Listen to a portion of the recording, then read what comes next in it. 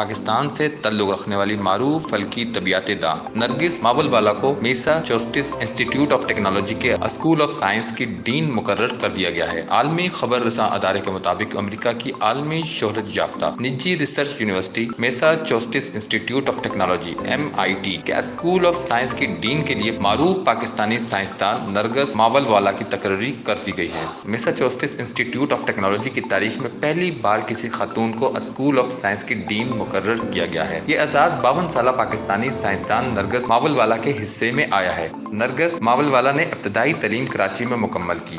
और 1986 में अमेरिका चली गई थी, जहाँ उन्होंने फल्कियात में ग्रेजुएशन की और एमआईटी की तबियात में पीएचडी करने के बाद इसी अदारे में दरसो तदरीस और तहकीक से वाबस्ता हो गई थी।